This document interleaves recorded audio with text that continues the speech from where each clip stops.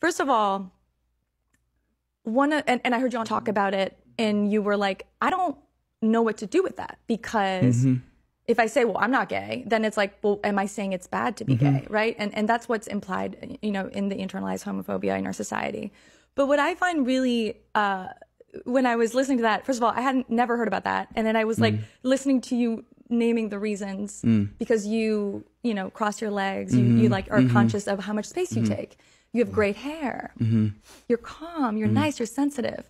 And I was like, women love that. like, like women are actually, those are all things that women are very attracted to. So who says that that's gay? But right? I also think most men would spend an extra little bit of time on their hair if they didn't, if they Yeah. grew up in a house where their dad didn't tell them to stop fussing on their hair. Like my There dad could see me in the mirror playing with my hair and, and talking about my hair, and he would never say anything about it. It was just mm. like That's a great point. You know, a lot. I know friends